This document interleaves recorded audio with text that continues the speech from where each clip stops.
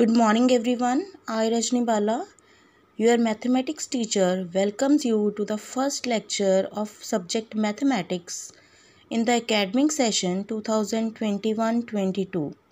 We are starting with chapter number 2, that is polynomials. Let us discuss some basics of the chapter polynomial. We will start with the word from the name of the chapter, that is polynomial. Poly comprises polynomial comprises of two words that is poly and nomial. Poly means many, nomial means terms.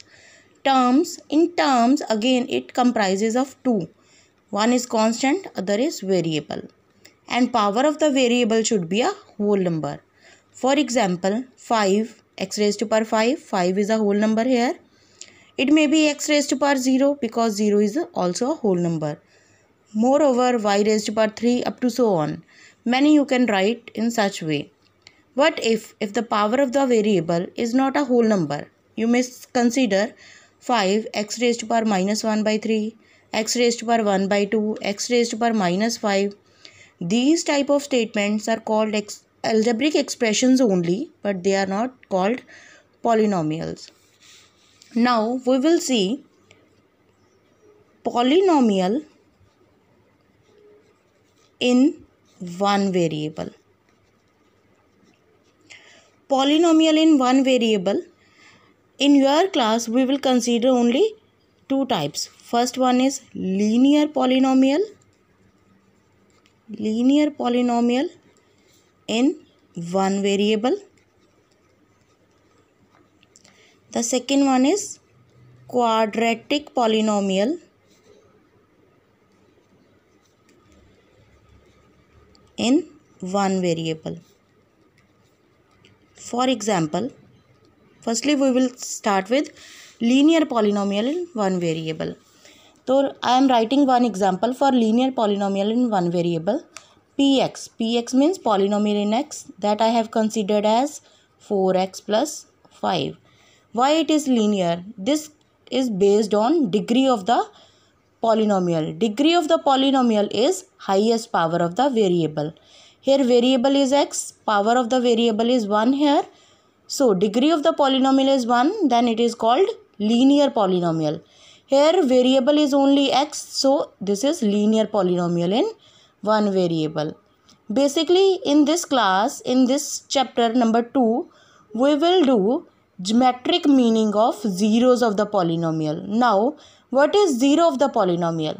0 of the polynomial is the value of 0 of the polynomial is the value of x at which value of px becomes 0 means I have to consider the value of x at which px becomes 0. px is 4x plus 5. I have to get the value at what 4x plus 5 becomes 0. Now we will apply transposition. So plus 5 will go on another side. It will become minus 5. Now 4 is multiplied with x. It will go on another side. It will be divided there. So Value of x is minus 5 by 4 where value of the polynomial px becomes 0. So this is called 0 of the polynomial. In this class we are going to represent zeros of the polynomial graphically. So how to represent it graphically? We all know how to draw graph. For that we have to draw one x-axis. The another one is y-axis. Here on y-axis we will consider here px means polynomial in x. If I write the polynomial in y form, so it will become y is equal to 4x plus 5. Now let us fill the values here. If I put x is equal to 0, so what I will get? Making table here. If I put x 0, I will get y 5. If I put x1 I will get y as 9. So let us draw it on graph paper. One more value you may fill here. If I put x equal to minus 1 I will get y as 1 so let us draw it on graph paper this is origin 0 this is 1 2 3 4 5 here I am writing 1 2 3 4 5 6 7 more you can extend 8 and 9 another side minus 1 minus 2 this way also minus 1 minus 2 let us draw it on graph paper. First point is 0 5 value of x is 0 value of y is 5 so this will be the first point 0 5 value of x is 1 and value of y is 9 value of x is 1 and value of y is 9 this will be the second point. The third point is value of x is minus 1 value of y is 1 this will be the third point. You may join all three points. You may see you will get a straight line. From this we can say graph of the linear equation is always a straight line. From this how we can get how many zeros a polynomial have. This you can judge from the intersection of the graph of the equation with x-axis. At most at how many points intersection is being placed. It is being done only at one point. It means linear equation has one zero. So graphically we can see by graph of the given polynomial, intersection of the graph of the given polynomial with x-axis.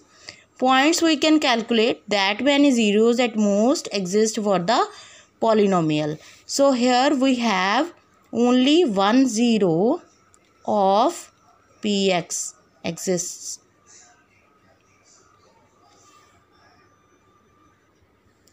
If I talk about the zeros of quadratic polynomial, so degree of the quadratic polynomial is 2. It means at most it may have 2 zeros. The graph of the quadratic polynomial is always in the form of parabola means U-shaped. This is intersecting x-axis at 2 points. So it means it has 2 zeros. Always it is not possible ki how much degree is given that many zeros exist. It may exist at most means at most two zeros can be there it may be less also because if graph of quadratic polynomial is given such a way it is not intersecting x-axis at any point it means it does not have any real zero so whenever you you are getting the question about at most zeros so degree of the polynomial decides at most zeros of the given polynomial. It may be real, it may be non-real. So, you have to get the real zeros, counting of real zeros only by checking the points of intersection of the graph of the polynomial with x-axis. So, whenever you are getting question in the graph form, what you have to calculate? I am drawing one figure again. Suppose in such a way, graph of the poly polynomial in x is given this is x-axis here is a graph of px so how many zeros of this graph exist here? 1 2 3 4 so number of zeros here are 4 on this topic only your ex first exercise exercise 2.1 is based.